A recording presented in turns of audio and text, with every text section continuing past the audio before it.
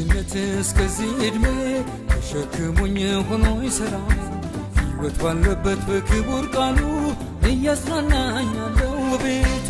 ከልጅነት እስከዚህ ዕድሜ ተሸክሞኝ ሆኖ ይሠራል ሕይወት ባለበት በክቡር ቃሉ እያጽናናኛለው ቤቱ።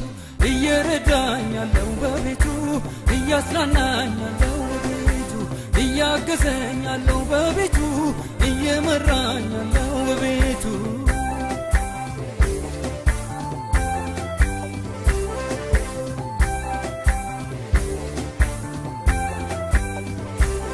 ከፊት ያለሁና ስንቱን መሰናክላ ገለል ያረገ ጌታ በቃኝ በድል እርሱን የያዘ ሰው መቼም አፍሮ አያውቅማ ሰይጣን ይፈር እንጂ የሱስ ሰው አይጥልም የሱስ ሰው አይረሳ የሱስ ሰው አይጥልም። የሱስ ሰው አይረሳ የሱስ ሰው አይጥልም። የሱስ ሰው አይረሳ የሱስ ሰው አይጥልም። የሱስ ሰው አይረሳ የሱስ ሰው አይጥልም። ልጅነት እስከዚህ ዕድሜ ተሸክሞኝ ሆኖ ይሠራል ሕይወት ባለበት በክቡር ቃሉ እያጽናናኛለው ቤቱ። ከልጅነት እስከዚህ ዕድሜ ተሸክሞኝ ሆኖ ይሠራል ሕይወት ባለበት በክቡር ቃሉ እያጽናናኛለው ቤቱ። እየረዳኛለው ሰላም ጤና ይስጥልኝ የእግዚአብሔር ቤተሰቦች እግዚአብሔር እናመሰግናለን። እግዚአብሔር በዚህ ሳምንት በብዙ መልኩ ሲጎበኝ ነበረ እግዚአብሔር ህዝቡን በሚያስደንቅ ሁኔታ። ስለ እግዚአብሔር ክብር more emphasis የተሰጠበት ሳምንት ይመስላል። ወደ እግዚአብሔር ክብር እንዴት ሰው እንደሚገባ more በዙም ባለም ጸሎት emphasis ከእግዚአብሔር ቃል ጋር በተያያዘ መልኩ ሲሰጥ ነበረ እና በጣም ደስ የሚል ጊዜ ነበረ። ዛሬ ከመጨረሻው የመጨረሻውን ሳይሆን ይሄኛው ከዚህ በኋላ አንድ የሚቀረው ይኖራል ብዬ አስባለሁ። ከዛ በኋላ ፈጽማለሁ ብዬ መጽሐፉ አልተነካም። ከምዕራፍ አንድ እስከ ምዕራፍ አራት መጽሐፉ አልተነካም። መጽሐፉ አልተነካም። ወፍ በረር አይነት ነገር ነው ያየ ነው። አላጠና ነው በደንብ እንደዛ ነው ማስበው እና ከዛ ጋር እመጣለሁ። የዛሬውን ርዕሱ ኢየሱስ ክርስቶስን ከማቴዎስ ወንጌል ምዕራፍ አንድ ሁለት ሶስት እና አራት ውስጥ ማየት የሚለውን በዛ ርዕስ ነው የተጀመረው እና last week የተወሰነውን ለማለት ሞክሬያለሁ። በዚህ ሳምንት ደግሞ የተወሰነውን እሄዳለሁኝ ከምዕራፍ አራት ጨምሬ ማለት ነው። እግዚአብሔር አባቶ እናመሰግናለን። ብርሃንሽ ወጥቷልና የእግዚአብሔርም ክብር ወጥቶልሻልና ተነሽና አብሬ በጌታ በኢየሱስ ክርስቶስ ስም የእግዚአብሔር ክብር በእኛ ላይ የሚበራው ክብር በጌታ በኢየሱስ ክርስቶስ ስም ይውጣ። ከቃሉ የተነሳ ማንኛውንም የጨለማውን መንግስት በዚህ ብርሃን የተመታ ይሁን፣ በዚህ ክብር የተገለጠ ይሁን። የጨለማው ማንኛውም አይነት አሰራር የተገለበጠ ይሁን። አባቶይ ለአንተ ቀደስን በጌታ በኢየሱስ ስም አሜን። የእግዚአብሔር ቃል በመጀመሪያ የእግዚአብሔር ቃል በዘፍጥረት ምዕራፍ አንድ ከቁጥር አንድ እንደዚህ ይላል። በጣም ደስ የሚለኝ ቃል ነው። በጣም ደስ ይለኛል። ለምን እኔ እንጃ የተለየ ትርጉም ይኖረዋል። በመጀመሪያ እግዚአብሔር ሰማይና ምድርን ፈጠረ ይላል። ይሄ ቃል በጣም ነው የሚያስደስተኝ። ብዙ ጊዜ አነባዋለሁ። still fresh ነው ለእኔ። በመጀመሪያ እግዚአብሔር ሰማይና ምድርን ፈጠረ። ይህ የሚያሳየው የእግዚአብሔርን ምን ያህል ጉልበት በውስጡ እጅግ የታመቀ ጉልበት እጅግ ኃይል የተሞላበት የእግዚአብሔርን የጉልበቱን መጠንና ኃይሉን ያሳያል። በመጀመሪያ እግዚአብሔር ሰማይና ምድርን ፈጠረ። ለምን? የመለኮቱ ባህሪ የማይታየው የመለኮቱ ባህሪ ይገለጥ ዘንድ ይገለጥ ዘንድ እንዴት? ከተሰሩት ነገሮች እግዚአብሔር ስለገለጠላቸው እግዚአብሔር ስለገለጠላቸው የመለኮቱ ኃይል ደግሞ አምላክነቱ ያ የማይታየው ባህሪ ከዓለም ፍጥረት ጀምሮ ከተሰሩት ነገሮች ግልጥ ሆነ ይታያል። ያ ምንድን ነው? እግዚአብሔር ተናገረ። እግዚአብሔር ተናግሮ ነበረ። በምን? ከተሰሩት ነገሮች። እንዴት?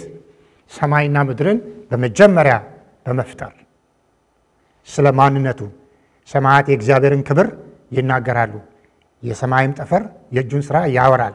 ነገር የለም መናገር የለም፣ ድምፃቸው ግን እስከ ዓለም ዳርቻ ወጣ። እግዚአብሔር ለ general audience የተናገረውን ለጀነራል ሕዝብ የተናገረው ነው። ዕብራውያን ምዕራፍ አንድ ላይ ግን እግዚአብሔር በብዙ አይነትና በብዙ ጎዳና ጥንት ለአባቶቻችን በነቢያት ተናግሮ ይላል። ስለዚህ ለአባቶቻችን በነቢያት ተናገረ። ለጀነራል ኦዲየንሱ ግን በተሰሩት ነገሮች ግልጥ አድርጎ ተናገረ። ስለ እግዚአብሔር ሊታወቅ የሚቻለውን እግዚአብሔር ገለጠ። በመጨረሻው ዘመን ግን ለእኛ በልጁ ተናገረ። ለእኛ በልጁ ተናገረ። ስለዚህ የተናገረውን አስቀድሞ የተናገረውን አሁን ግን ለእኛ ተናገረ። በማን? በልጁ ተናገረ። ይህንን ብዬ ማቴዎስ ወንጌል ምዕራፍ 3 እግዚአብሔር እንዴት እኛን እንደተናገረ የሚያሳይ ነው። እግዚአብሔር ልጁን በመግለጥ ተናገረ። ልጁ አብን ተረከ። አብ ልጁን መሰከረ። መንፈስ ቅዱስ ልጁን መሰከረ። ስለዚህ ያንን ለማሳየት ነው ባለፈው እንዳልኩት ማቴዎስ ወንጌል ምዕራፍ 3 ከቁጥር 16ና 17 ወንጌሉ በቁንጽል በአንድ አረፍተ ነገር ሲቀመጥ ማለት ነው። ወይም ቤተ ክርስቲያን በቀዳዳ በትንሽ ቀዳዳ አጮልቀን ስናየው ማለት ነው። የቤተ ክርስቲያን መልክ ያ ነው። የእግዚአብሔር ክብር ሰማያት ተከፍተው ጌታ ኢየሱስ ክርስቶስ በሙሉ ክብሩ መንፈስ ቅዱስ በኃይል ሲሰራ ማለት ነው። ያንን ያየነው ባለፈው ሳምንት ስለ ንስሐ ፍሬ ለማለት ሞክር ያለው አላጠገበኝም። ብዙ ጊዜ የንስሐ ፍሬ የሚለውን ተርሙን እናውቀዋለን። ያው ንግግርና አካሄድ አንድ መሆን የሚለውን ድፍድፍ ነው ማለት ጥራት የለውም።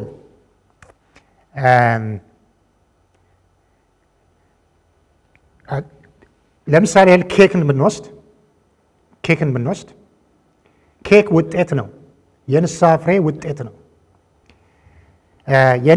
ኬኩን ከማገናኘታችን በፊት ግን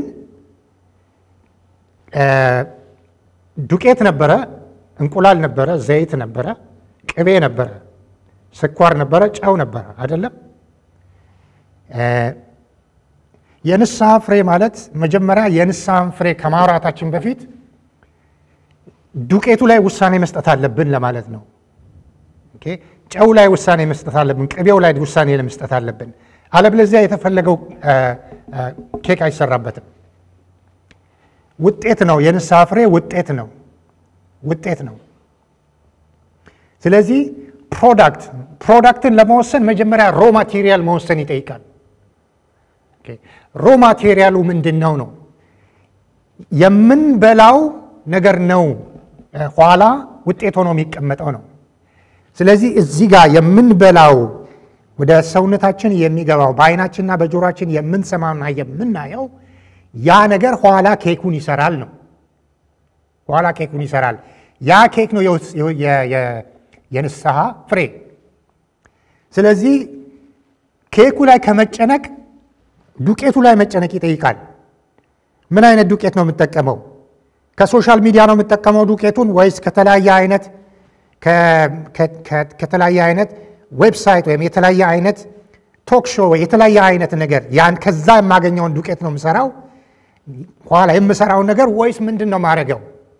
ምክንያቱም ጌታ ኢየሱስ ክርስቶስን በምንም ተአምር ያለ ፍሬ አናሳምነው።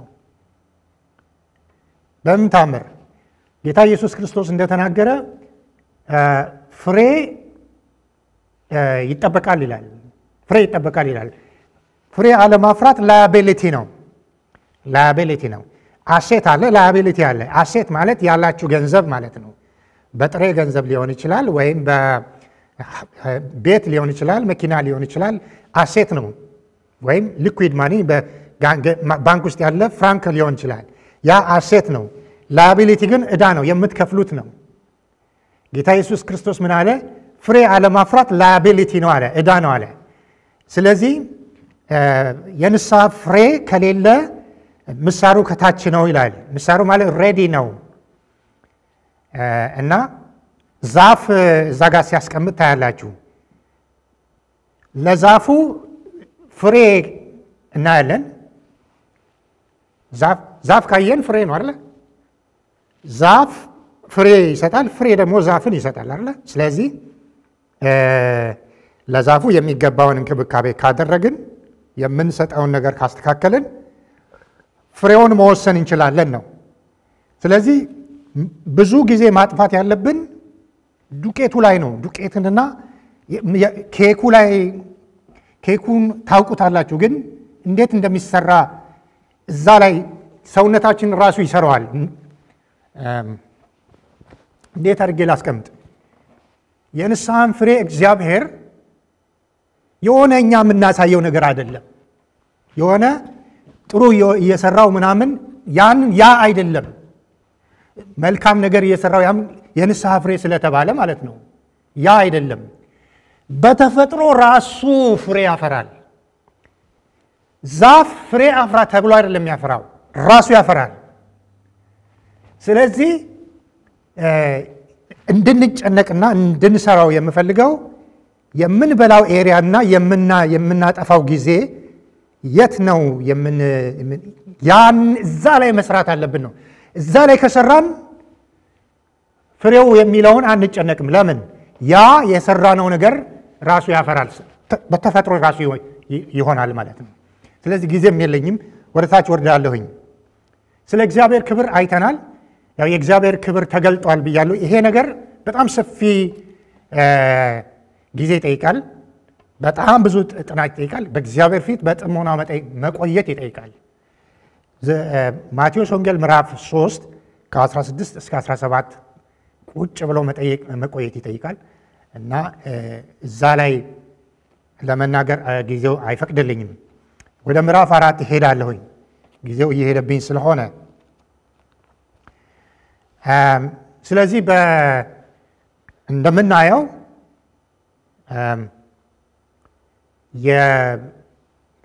የጌታ ኢየሱስ ክርስቶስ የእግዚአብሔርን ክብር አየ። ሰማያት ተከፈቱ፣ መንፈስ ቅዱስ ተሞላ። መንፈስ በእርግብ አምሳል ሆኖ በእሱ ላይ አረፈ። የእግዚአብሔር አብ ምስክርነት ምንድን ነው? በእርሱ ደስ የሚለኝ የምወደው ልጄ ይህ ነው አለ። okay ይሄ ታላቅ የእግዚአብሔር ምስክርነት ነው። ከሰው ምስክር የእግዚአብሔር ምስክር በብዙ እጥፍ በብዙ እጥፍ ማለት ልኬት የለውም ልኬት የለውም። የእግዚአብሔር ምስክርነት ይበልጣል። የሰው ምስክርነት እኔ የሰው ምስክርነት አልቀበልም አለ። ዮሐንስ መስክሯል አለ። የዮሐንስን ምስክርነት የሰው ምስክርነት ነው፣ ስለዚህ አልቀበልም አለ እና የሰው ምስክር ከዛ ምስክርነት የሚበልጠው የአብ ምስክርነት አለ አለ። ያ ስለ እኔ ይመሰክራል አለ። የእኔ ማንነት የእኔ identity በአብ ነው የሚነገረው ነው። ወይም አብ ስለ እኔ የተናገረውን identity ያንን identity ነው የምቀበለው። ሰዎች ለእኔ የሚነግሩትን identity አልቀበልም። ሰዎች የአናጢ ልጅ ሊሉኝ ይችላሉ። ሰዎች እነዛ መንደር የማውቀው ሰው ሊሉኝ ይችላሉ። ሰዎች የታክሲ ሾፌር ሊሉኝ ይችላሉ። ሰዎች ያ cleaner ሊሉኝ ይችላሉ። ወይም ያ አናጢ ነው ሊሉ ይችላሉ። ወይም ግንበኛ ሊሉኝ ይችላሉ። ወይም ዶክተር ነው ሊሉኝ ይችላሉ። ያ የእኔ identity አይደለም። identity እግዚአብሔር አብ የተናገረው ያ identity ነው። እግዚአብሔር አብ የሚመሰክረው ምስክርነት የጸና ነው። የእግዚአብሔር አብ ምስክርነት ከምስክርነት ሁሉ የሚበልጥ ምስክርነት ነው። የእኛ ምስክርነት ወይም የእኛ አይደንቲቲ የሚወሰነው በእግዚአብሔር ነው። ያንን ያንን አይዴንቲቲ ያንን ክብርና ያንን ኃይል ተሞልቶ ወደ ምድረ በዳ ሲገባ እናያለን። በመንፈስ ተመርቶ በመንፈስ ተመርቶ ወደ ምድረ በዳ ሲገባ እናያለን። ምዕራፍ አንድ ምዕራፍ ሁለት ምዕራፍ ሶስት ገብተን ስንጨርስ ልክ ምዕራፍ አራት ላይ ወደ ምድረ በዳ ስንገባ እናያለን። የሆነ የእስራኤል ሕዝብ ሶስት ቀን ተጉዞ ወደ ምድረ በዳ ገባ የሚል አይነት ነገር እንደዛ አይነት ነገር ይመስላል እና እንደው የኔ አስተሳሰብ ነው። ብዙም እንትና ማለት አያስፈልግም እና ምዕራፍ አንድ ምዕራፍ ሁለት ምዕራፍ ሶስት የሶስት ቀን መንገድ ብለን ብንወስደው just as understanding ምዕራፍ አራት ግን ምድረ በዳ ነው ምድረ በዳ ነው እና በምድረ በዳ ግን የእግዚአብሔር provision አለ። እግዚአብሔር ህዝቡን ወደ ምድረ በዳ ሲመራ ግን ዝም ብሎ አልመራም። በምን መንፈስ ቅዱስን ሰጥቶ ነው። ቀን በደመና አምድ ሊያበራላቸውም በእሳት አምድ ከነሱ ቀንና ሌሊት አልተለያቸውም። ያንን ኃይል ይዘው ነው ወደ ምድረ በዳ የገቡት። ያንን ክብር ይዘው ነው ወደ ምድረ በዳ የገቡት። ከዛ በኋላ ምዕራፍ አራት ከቁጥር አንድ ጀምሮ እንዲህ ይላል። ከዚያ ወዲያ ኢየሱስ ከዲያብሎስ ይፈተን ዘንድ መንፈስ ወደ ምድረ በዳ ወሰደው ይላል። ኢየሱስ አሁን የእግዚአብሔርን ክብር ተሞልቻለሁ፣ አሁን የእግዚአብሔር ልጅ ነኝ፣ ምክንያቱም እግዚአብሔር መስክሮልኛል፣ መንፈስ ቅዱስ በኃይል ተሞልቻለሁ፣ የእግዚአብሔርን ክብር አይቻለሁ፣ ስለዚህ ጡንቻዬን ማሳየት አለብኝ ብሎ ወደ ምድረ በዳ አልሄድም። የራሱን ፈቃድ ለማድረግ ምንም አይነት መሻትና ፍላጎት የለውም። ዮሐንስ ወንጌል ምዕራፍ አምስት ሰላሳ ላይ እኔ ከራሴ ለማድረግ ፈጽሞ አይቻለኝም አለ። ፈጽሞ ማድረግ ስለማይችል ሳይሆን ፈቃዱን ስለሸጠ ነው። ለማን? ለእግዚአብሔር አብ ሸጠዋል። እስከ ሞት ድረስ ታማኝ ሆኖ ለእግዚአብሔር አብ ለእግዚአብሔር አብ ፈቃድ እስከ ሞት ድረስ ሄዷል እና በመንፈስ ተመርቶ ሄደ። አሳያለሁ ይህንን ጠላት ቆይ አሳያለሁ ብሎ ይህን ጡንቻዬን ማሳየት እግዚአብሔር አብ ተናግሮኛል። ስለዚህ I'll show ብሎ I'll deal with ብሎ አይደለም ወደ ምድረ በዳ ሄደው። የመንፈስ ምሪት በመንፈስ ምሪት ነው የወጣው። የእግዚአብሔር ክብር አለ፣ ሰማይ ተከፍቷል፣ የእግዚአብሔር ድምፅ አለ። ነገር ግን ምሪት ይጠይቃል። ምሪት ይጠይቃል። የእግዚአብሔር ክብር ስላለ፣ የእግዚአብሔር ድምፅ ስላለ፣ የመንፈስ ቅዱስ በኃይል ስላለ፣ የእግዚአብሔር ምስክርነት ስላለ ዝም ብሎ ዘው ተብሎ አይኬድም። የመንፈስ ምስክርነትና የመንፈስ ሊደርሺፕ አለ።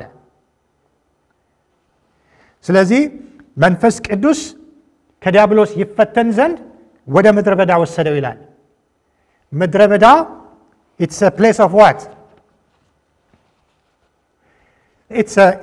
boots on ground ማለት ነው። boots on ground ማለት ጌታ ኢየሱስ ክርስቶስ እጁን የሰበሰበበት ለምሳሌ ያህል ግንበኛ እጁን ሰብስቦ አይደለ እጁን አቆሽሾ የሚሰራው እና boots on ground ማለት ጫማው መሬት ረገጠ ነው፣ አፈር ነካው ነው። ስራ ስለሚሰራ ጫማው ይበላሻል አይደለ? boots on ground ማለት ነው። ይሄ ግን totally an opposite way ነው ስታዩት።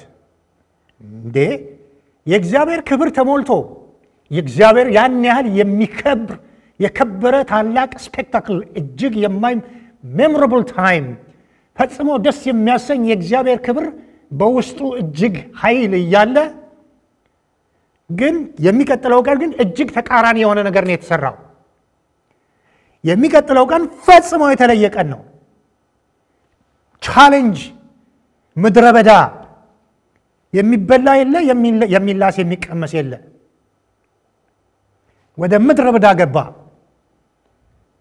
የከበረውን የእግዚአብሔርን ክብር የእግዚአብሔርን ኃይል አይቶ next day he find himself ምድረ በዳ ውስጥ ራሱን ምድረ በዳን ያገኘው በመንፈስ ተመርቶ ጌታ ኢየሱስ ክርስቶስ የእግዚአብሔርን አብ ድምፅ ነው የሚሰማው። የእሱን prompt ነው የሚከተለው እና ወደ ምድረ በዳ ሲገባ እናያለን እና አንድ ቀን፣ ሁለት ቀን፣ ሶስት ቀን፣ ሳምንት አለፈው። ይሄ ነገር ሳምንት አለፈ። አራተኛው ሳምንት እንደዚህ እያለ አርባ ቀን ሆነ። አርባ ቀን ሆነ እና አርባኛው ቀን ትንሽ ታፍ ነበረ፣ ለሱ tough ነበረ። ከዛ በፊት ግን እስቲ ይህን ልበል። wilderness was place of intense fight። ምድረ በዳ የከፍተኛ ጦርነት ያለበት ቦታ ነው። ነገር ግን ጦርነት ብቻ ሳይሆን ፈጽሞ ለእግዚአብሔር የመገዛት ቦታ ነው። ምድረ በዳ ፈጽሞ ለእግዚአብሔር አብ ፈጽሞ መንበርከክ ይጠይቃል። ፈጽሞ የእግዚአብሔርን ድምፅ መስማት ይጠይቃል። ምድረ በዳ ስለሆነ ከፍተኛ ጦርነት አለ። it's place of test and trial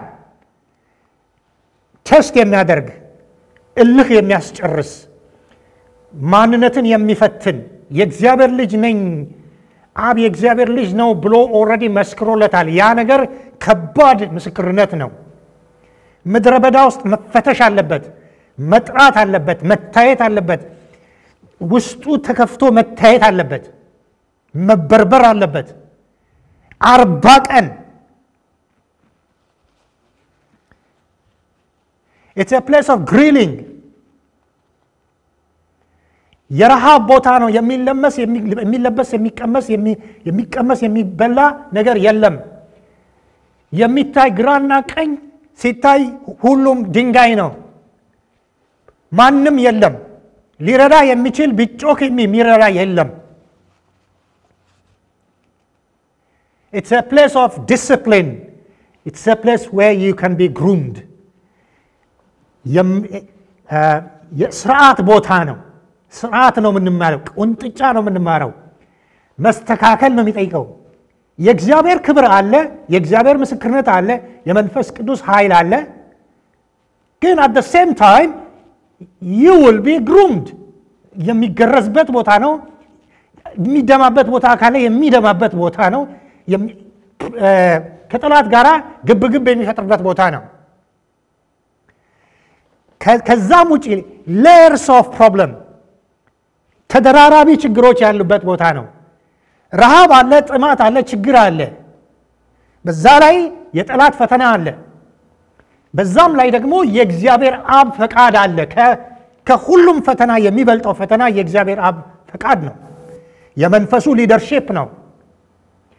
ምክንያቱም ከእግዚአብሔር አብ ፈቃድ ዝንፍ ማለት አይቻልም።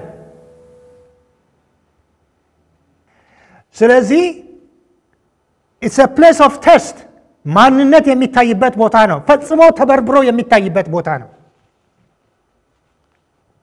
አርባ ቀንና አርባ ሌሊት በዚህ ሁኔታ አለፈ። ከዛም በኋላ ግን ተራበ። የመጨረሻው point ላይ ተራበ። የመጨረሻው ጉልበቱ አለቀ። የእግዚአብሔር ልጅ ነው፣ ወልድ ነው፣ የእግዚአብሔር ልጅ ነው። መንፈስ ቅዱስ በኃይል ተገልጧል። ሰማያት ተከፍቶ አይቷል። የእግዚአብሔር አብ ድምፅ በጣም በሚያስደንቅ ሁኔታ በልቡ ውስጥ አለ። ነገር ግን ተራበ ተራበ። የሚጠይቀው ሰው የለም እና ያ ለጠላት ኦፖርቹኒቲ ነው opportunity። ስለዚህ መጥቶ ጠላት ጠየቀው። ምን ብሎ ጠየቀ? well አሁን ተርባሃል አይደል እንዴ? አርባ ቀንና አርባ ሌሊት እኮ ሰነበትክ እና ምን ይመስልሃል? አሁን በጣም ተርባሃል። ይሄ ተርበህ ልክ ነው። ስለዚህ ያው እዘዛ። ትዝ አይልም ዘፍጥረት ምዕራፍ አንድ ላይ? ይሁን ይሁን ያልከው ትዝ አይልም እሱ ነገር ያ ነገር ትዝ አይልም ያለው እና እግዚአብሔር ሰማይና ምድርን ፈጠረ አለ ብርሃን ይሁን አለ ይላል ሆነ ይላል አለ ይከፈል አለ ተከፈለ የዛን ጊዜ ዋና ሰራተኛ ነበርኩ ይላል አለ ጌታ ኢየሱስ እና የዛን ጊዜ ያን ጊዜ አንታለም አንተ ወይስ አይኔ ነው ወይስ አንተ? ጥያቄው እንደዛ ነው እና ስለዚህ ድንጋዩን እንጀራ አድርግና ችግርህን ተወጣ። ጥያቄው በራሱ ክፋት የለውም። ጥያቄው በራሱ ክፋት የለውም። ልክ ነው። የእግዚአብሔር ልጅ ነው፣ ተመስክሮለታልም። እንደውም ከአርባ ቀን በፊት ጌታ እግዚአብሔር አብ በሚያስደንቅ ሁኔታ ገልጦለታል። በጣም በሚያስደንቅ ሁኔታ እና እንጀራ ይሁን ማለት ይችላል። እንጀራ ይሁን ማለት ብቻ ሳይሆን ምድረ በዳው ራሱ እንጀራ ይሁን ማለት ይችላል። እንዳለ ተራራው በሙሉ እንጀራ ይሁን ማለት ይችላል እና ምን እና አድርገዋል። ፊል ጉድ አንዳንዴ የሚታየው መልካም ነው። ጥያቄው ትክክል ነው። ቢደረግ ምንም አይነት ክፋት የለውም። ነገር ግን የእግዚአብሔር ሀሳብ ነው ወይ ነው የእግዚአብሔር ሀሳብ ነው ወይ ነው እና እነዚህን ሁለቱን እስቲ እስቲ እናወዳድር። የመጀመሪያ old trick ይመስላል። old trick ዘፍጥረት ምዕራፍ ሶስት ላይ ሔዋን ጋር መጥቶ ስለሚበላ ነገር ነው ይጠይቃታል እንዴ። ስለዚህ ዘፍጥረት ምዕራፍ ሶስት ላይ እና ማቴዎስ ወንጌል ምዕራፍ ሶስት ከሶስት ጀምሮ እንጀራ ይሁን ብሎ ያለበት ጊዜ ሁለቱ የሆነ ተመሳሳይነት ነገር አላቸው። ሁለቱን ስናየው ስለሚበላ ጉዳይ ነው እና ጠላትም እግዚአብሔርም ስለምንበላው ጉዳይ እጅግ እጅግ ያካብዳሉ። እግዚአብሔርም ጠላትም ምንድን ነው የምንበላው? አትብላ አለ። ከዚህ ከበላ ትሞታለህ አለ። ጠላት ደግሞ ብትበሉ ምንም ችግር የለውም እንደ እግዚአብሔር ትሆናላችሁ አለ። እግዚአብሔር አትብላ ብሎ የመጀመሪያው ትእዛዝ ነው አትብላ ብሎ ያለው።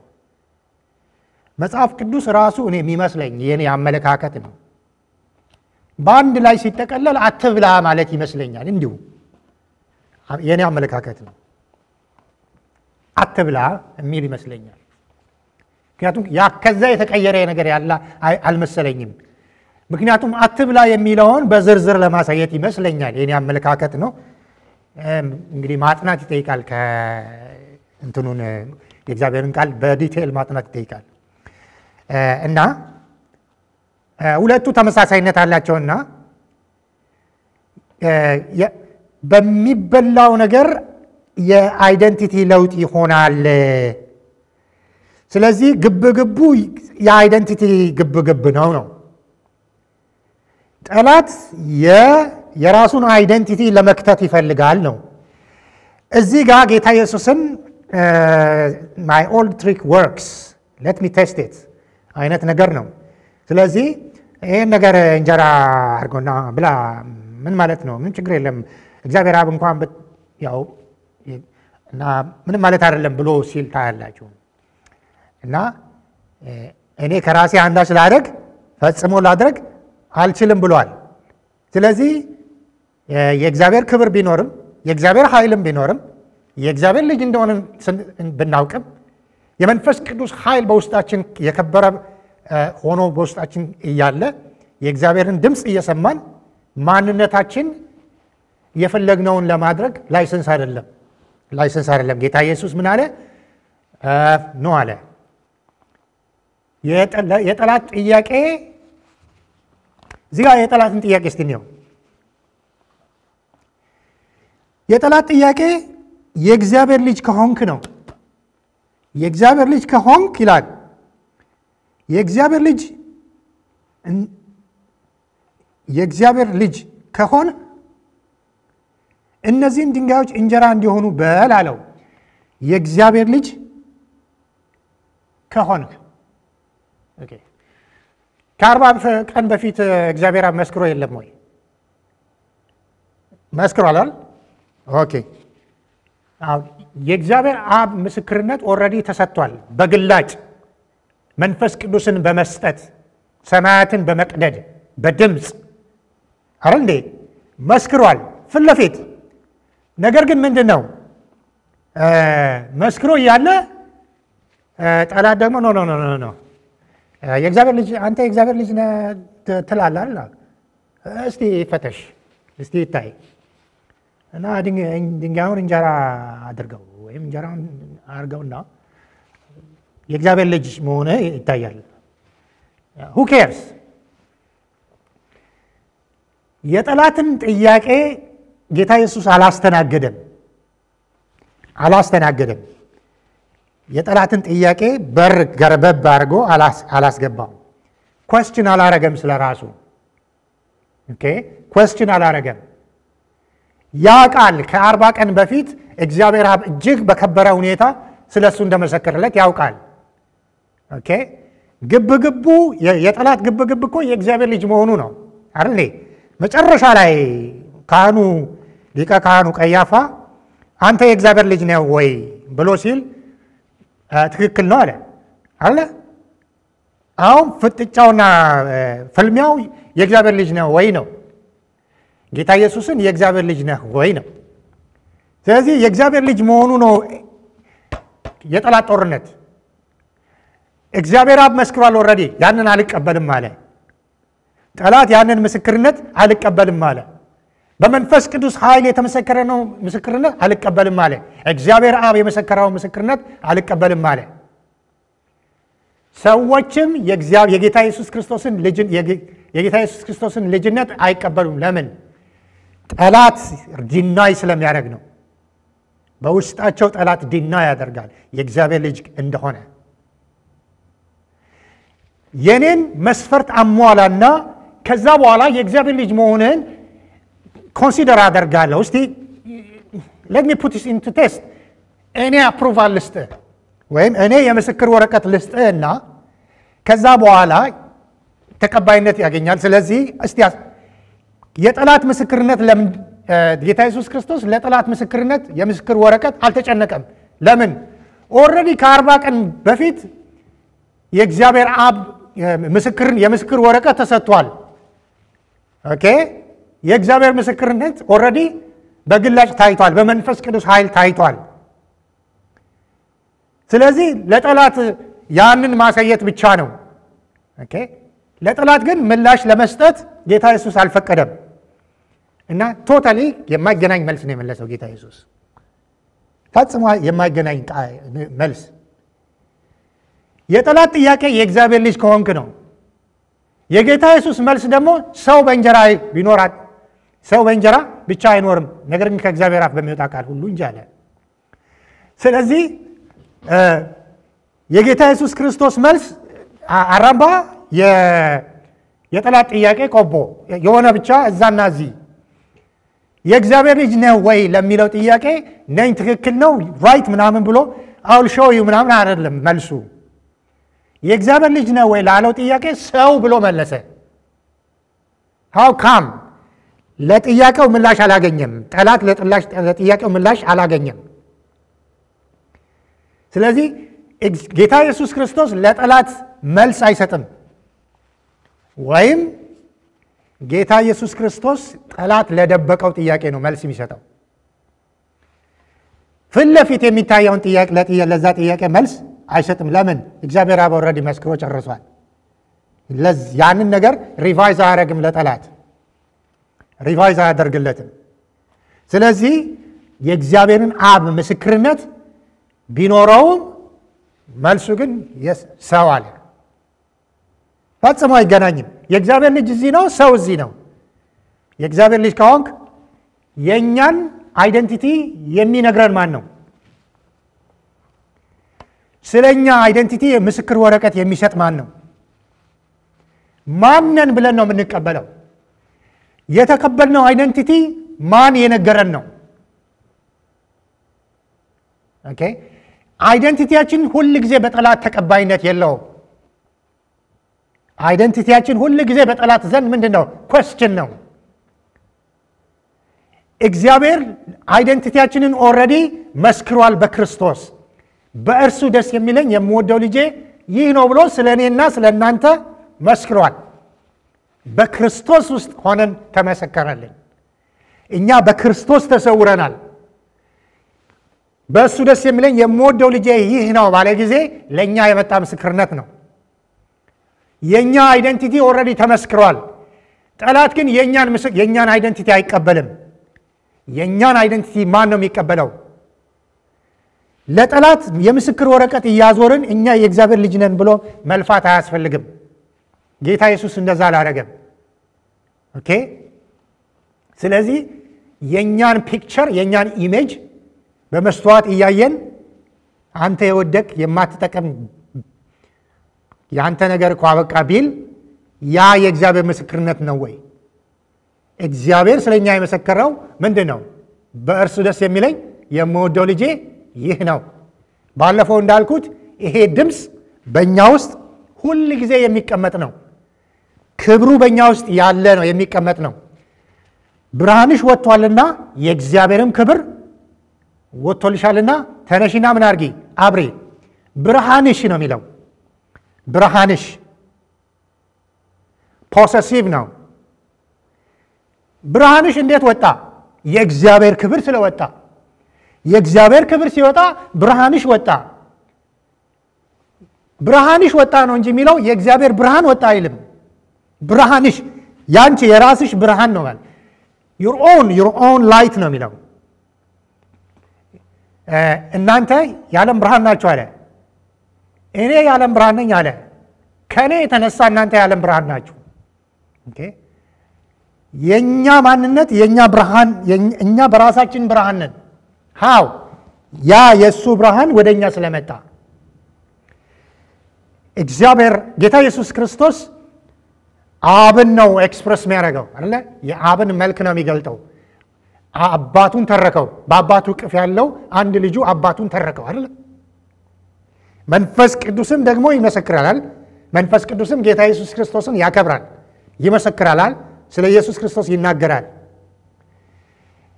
እኛ ግን ስለ ክርስቶስ ነው የምናሳየው፣ ስለምንገልጠው ክብሩን የምንገልጠው የኢየሱስን ክብር ነው የምናሳየው።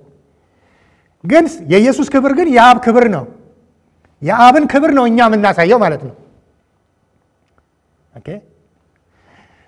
እና ብርሃንሽ ወጥቷልና የእግዚአብሔርን ክብር ወጥቶልሻል። የእግዚአብሔርም ክብር ወጥቶልሻል። ብርሃንሽ የሚለው የአንቺ የእኛ identity ነው። ብርሃንሽ የሚለው identity ያችን ነው። ከየት ነው የመጣው? የእግዚአብሔርን ክብር ወጥቶልሻልና that is reason እና ለጠላት ጌታ ኢየሱስ ክርስቶስ መልስ አልሰጠም። ሰው በእንጀራ ብቻ ሊኖር ሰው ከእግዚአብሔር አፍ በሚወጣ ቃል ሁሉ እንጂ በእንጀራ ብቻ አይኖርም ተብሎ ተጽፏል አለው። ስለዚህ የሰው source of living ከእንጀራ ብቻ አይደለም፣ ከሚበላው ነገር ብቻ አይደለም፣ ከምንሰራው ስራ ጋራ ብቻ አይደለም፣ ከምናገኘው ደሞዝ ጋራ የተያዘ ብቻ አይደለም ወይም ከምንሰራው ስራ ጋር የተያዘ አይደለም። ከነርስነታችን ጋር የተያዘ አይደለም። ወይም ከዶክተርነታችን ጋር የተያዘ አይደለም። ከእንጀራ ጋር ከኑሮ ጋር የተያዘ ብቻ አይደለም። ነገር ግን ከእግዚአብሔር በሚወጣ ቃል ከመንፈሱ ከሚወጣ የመገለጡ ቃል በውስጣችን ከሚወጣው ከመንፈሱ ኃይል ጋር ከቃሉ ጋር የተያዘ ነው። ስለዚህ ይሄንን ብሎ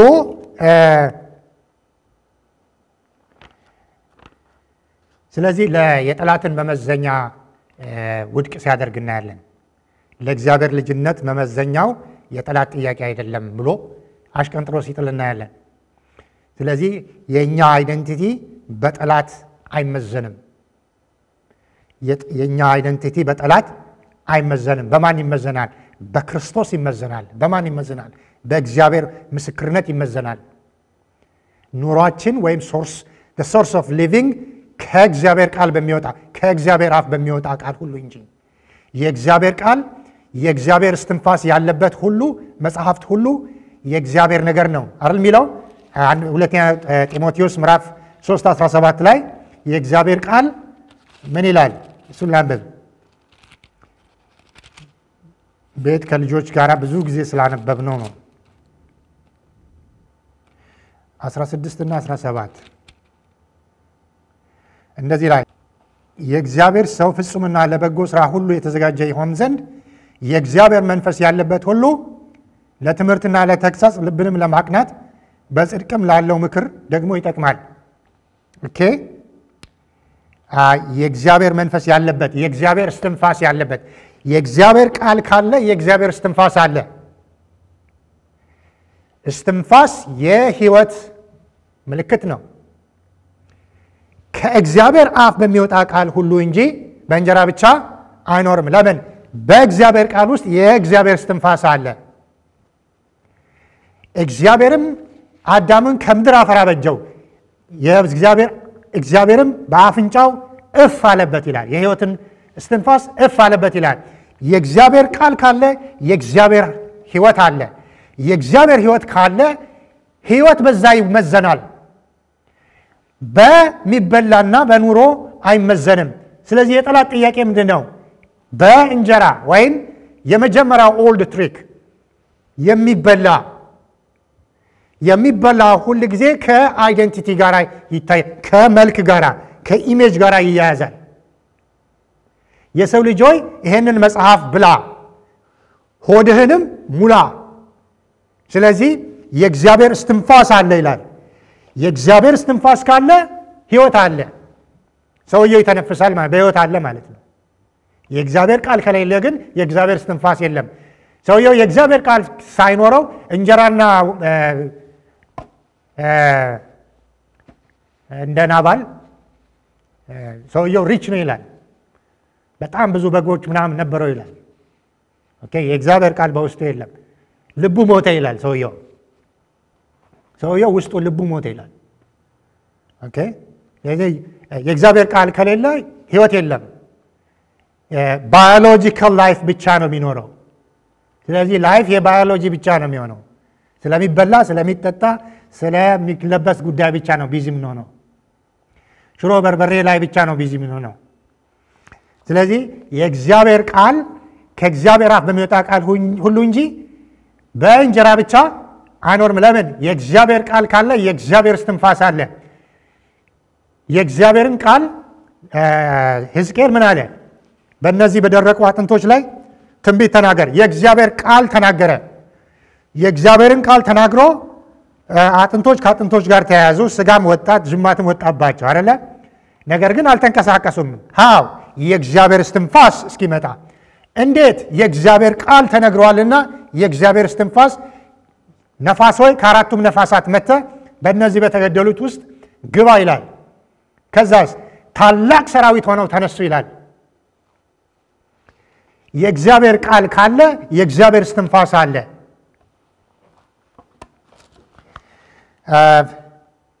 ስለዚህ ጌታ ኢየሱስ ክርስቶስ ጠላትን ሪጀክት ሲያደርግ እናያለን። የሚቀጥለው ሁለተኛው ጥያቄ የመጀመሪያው ጥያቄ ስለ እንጀራ ነው። እንጀራ ይህን እንጀራ ርቦሃል? ቀጥተኛ ምላሽ አንተ ማድረግ የምትችለው አይደል? እንዲህ ይኸው እንጀራ ድንጋዩ አይደል? ማዘዝ ብቻ አይደል? እዚህ ጋር እኮ ነው ያለው እዘዝና ሶሉሽን ያገኛል። የእኛ ጥያቄ በእኛ ጡንቻ አይመለስም። capacity ኖሮን እንኳን አይመለስም። በጣም የሚገርም እሱ ነው። በጣም የሚገርመው እሱ ነው። የእኛ ጥያቄ በእኛ ጡንቻ አይመለስም። የእግዚአብሔርን ድምፅ በመስማት ብቻ ይመለሳል። በቃሉ ይመለሳል፣ በመንፈሱ ይመለሳል። እና ይህንን ለማለት ነው የምሞክረው። እንግዲህ ሁለተኛው ነጥብ ላይ የተወሰነች ብዬ በሚቀጥለው የተወሰነውን እሄዳለሁ። እንግዲህ ጊዜ ከበቃን የሚቀጥለውን ጨርሳለሁ። የሚቀጥለው ግን እንደዚህ ይላል። ማቴዎስ ወንጌል ምዕራፍ አራት ከቁጥር አምስት ጀምሮ ከዚህም በኋላ ዲያብሎስ ወደ ቅድስት ከተማ ወሰደውና እርሱን በመቅደስ ጫፍ ላይ አቁሞ መላእክቱን ስለ አንተ ያዘልሃል፣ እግርህንም በድንጋይ ከቶ እንዳትሰናከል በእጃቸው ያነሱሃል ተብሎ ተጽፏልና የእግዚአብሔር ልጅስ ከሆንህ ወደ ታች ራስህን ወርውር አለው። ወርውር አለው። የጠላት ምኞት ሁል ጊዜ ራስን እንድንወረውር ነው። ራሳችንን self inflict ሰልፍ ኢንፍሊክት እንድናደርግ ነው ማለት ራስን መጉዳት፣ ራስን መወርወር። ሁል ጊዜ የጠላት አጀንዳ ያ ነው። የጠላት አጀንዳ ራሳችንን እንድንጎዳ ራሳችንን ጢሞቴዎስ ምን ይላል? ብዙዎች ባለጠጋ ሊሆኑ እየፈለጉ በብዙ ስቃይ ራሳቸውን ወጉ ይላል። በብዙ ስቃይ ራሳቸውን ወጉ ይላል። ጢሞቴዎስ አንደኛ ጢሞቴዎስ ሁለተኛ ጢሞቴዎስ አምስት አካባቢ ይመስለኛል፣ no ሶስት አካባቢ ይመስለኛል።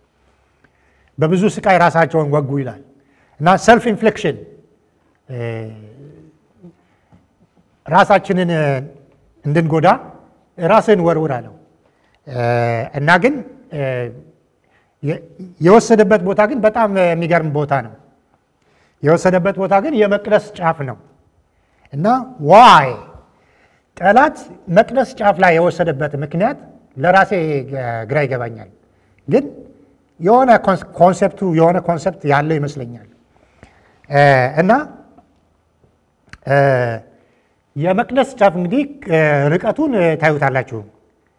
ሶስት አራት story building ወይም ሁለት story building minimum አምስት ሜትር እስከ ስድስት ሜትር አካባቢ ይሆናል።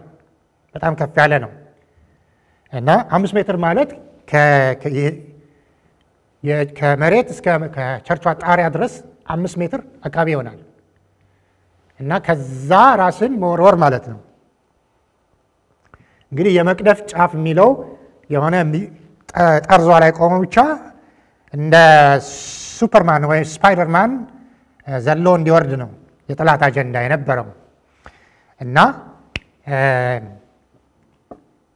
እስቲ ይታያለ የእግዚአብሔር ልጅ ለመሆን በዚህ ደግሞ ይመዘን አለ። የመጀመሪያውንስ እሺ ሰው ብለህ መልሰሃል አለ እና ይህንን አልፌ ያለው አለ። የአሁኑን ግን እስቲ ያው የእግዚአብሔርን ቃል ጠቅሰ የለም ልክ ነው። የእግዚአብሔርን ቃል ጠቅሳል። ደግሞ እኮ የእግዚአብሔር ቃል መላእክቱ ስለ አንተ ያዝልሃል፣ እግርህም አይሰናከልም፣ ብትወረውርም ምንም ማለት አይደለም። ምክንያቱም መላእክትም መዝሙር ዘጠና አንድን አታስታውስም ወይ አለው። መዝሙር ዘጠና አንድ ትዝ አይልም ወይ አለው።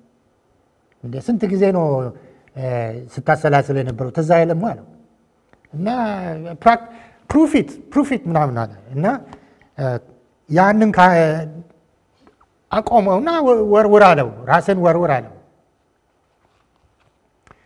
እና የጠላት አጀንዳ ሁል ጊዜ ከእንደዚህ ጋር በተያያዘ መልኩ ነው እና እግዚአብሔር ይገስጸው። የሚቀጥለውን ግን ልጨርሰው አልችልም። ይህንን በሚቀጥለው ግን ከዚህ የሚቀጥለውን ለማውራት ሞክራለሁ።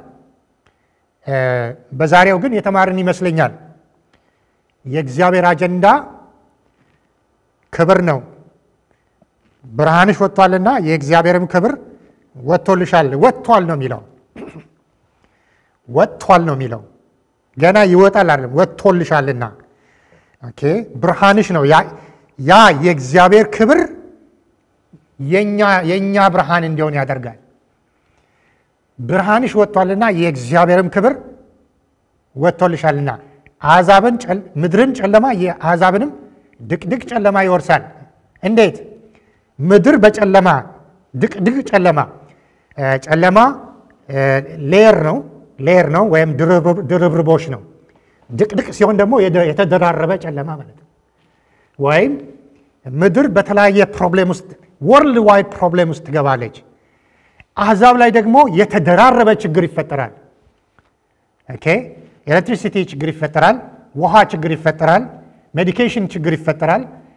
source of income ይፈጠራል፣ ችግር ይፈጠራል። በተለያየ መልኩ ችግር ይፈጠራል። የጎሳ ጥያቄ ችግር ይፈጠራል። on every corner ይፈጠራል ችግር። አሕዛብን ጨለማ ይወርሳል፣ ምድርን ጨለማ ይወርሳል። አሕዛብን ግን ድቅድቅ ጨለማ ይወርሳል። ዋይ ከምድር ጨለማነት የተነሳ ያለው ችግር ይደራረባል፣ ድቅድቅ ይሆናል። የጨለማው ውፍረት ነው። የጨለማው ውፍረት ነው። ነገር ግን በአንቺ ላይ የእግዚአብሔር ክብር ይወጣል። እግዚአብሔር ይለያል። ግብፅን ከእስራኤል ልጆች ይለያል ይለያል። ያ የእግዚአብሔር ክብር ይለያል። የእግዚአብሔር ክብር በክርስቶስ ይመጣል። እንዴት? መንገድን ጥረጉ፣ ከፍ ያለ ነገር ዝቅ በል፣ ዋጋ ክፈሉ። ጉዞ ነው ብያለሁ። ጉዞ ማለት በአንድ ጊዜ የሚከናወን አይደለም፣ የሚቀጥል ነው፣ የሚከናወን ነው። ዛሬ የሚሰራ ነው፣ ነገ የሚሰራ ነው፣ ወዲያ የሚሰራ ነው። ዛሬ ተሰርቶ የሚያበቃ አይደለም። መንገድ ሲሰራ ከዚህ እስከ ቤቴ ድረስ በአንድ ጊዜ ነው የነዳሁት። ሲሰራ ግን ወደ ዓመት ከምናምን ነው የተወሰደበት። ስለዚህ ስራ ይጠይቃል። አዘጋጁ፣ ለንስሐ ፍሬ ወስኑ። ምን እንደምትበሉት okay። ጠላትና እግዚአብሔር በምትበሉት ጉዳይ ላይ በጣም conscious ናቸው። ምንድን ነው የሚበላው ምንድን ነው የሚበላው ብለው concentrate ያደርጋሉ። ምክንያቱም የምናናገረው ነገር ያውቃሉ። ከበላን በኋላ የምንናገረውን ያውቃሉ። የምናስበውን ያውቃሉ። እንዴት ባህሪያችን እንደሚቀየር ያውቃሉ። መልካችን እንደሚቀየር ያውቃሉ። ሁለቱም እጅግ እጅግ እጅግ የምንበላው ላይ አትኩሮት ያደርጋሉ። ለጠላት ምላሽ የምንሰጠው በእግዚአብሔር ክብር ብቻ ነው። ጠላትን ማድማት የምንችለው በመንፈሱ ኃይልና በቃሉ ጉልበት በእግዚአብሔር ምስክርነት ስንሞላ ነው። እግዚአብሔር አባቶች ስለ ረዳህ እናመሰግናለን። ሕዝብህን በክብርህ ሙላ። ወደ ክብርህ ወደ ጸዳልህ ወደ እግዚአብሔር ክብር አምጣን። የቃልህን ትርጉም አሳየን። ኢየሱስን አሳየን። እናመሰግናለን። በጌታ በኢየሱስ ስም አሜን።